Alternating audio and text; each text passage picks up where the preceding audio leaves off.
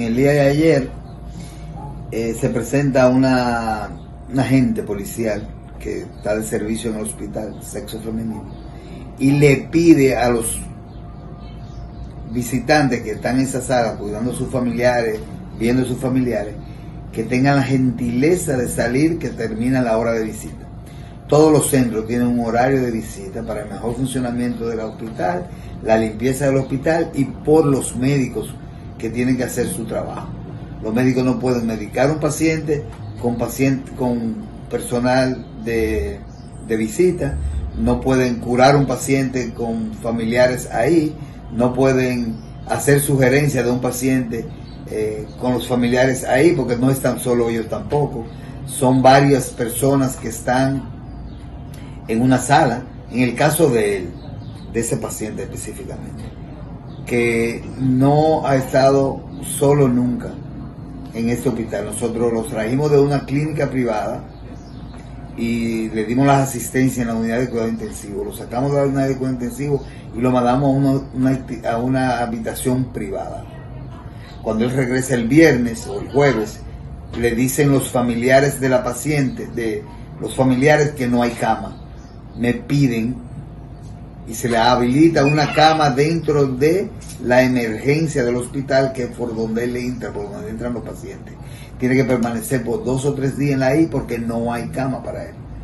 No hay cama para él porque no hay una cama, él necesita una cama especial por el asunto de que él tiene, además de su enfermedad, tiene un problema en una pierna y está contaminada y no se pueden contaminar los otros pacientes.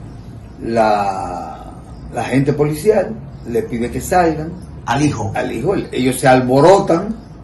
Normalmente eso pasa cuando tú tienes un, padre tuyo en una condición crítica, tú quieres quedarte, pero tú no puedes decirle de manera cordial a esa gente, mire, présteme atención dos minutos, permítame quedarme con mi padre, yo voy a salir, voy a volver, porque él está en condiciones que necesita de mí, lo que tú quieras decirle, de manera suave, de manera cordial, no es verdad que un agente policial te va a decir que no. entonces, doctor. Entonces, él, se altera, él se altera, se altera de manera alterada. El hijo del paciente. El hijo del paciente, el paciente está mal, el paciente no puede esperarse. es el hijo el que se altera. La, la, la, la agente policial va y busca a su compañero, le hace o llama a su compañero y viene un, varón, porque él es un varón grande, fuerte, el familiar y entonces ahí ellos conversan, se, ahí se pone eh, agresivo y el policía toma su conducta. En el forcejeo se zafa un tiro. Dice, me dicen que primero lo golpeó al policía. El policía tiene una fractura en la clavícula. Wow. que no se, que no se cayó ni nada, tiene que haber sido, eh, no sé cómo, pues yo no estaba.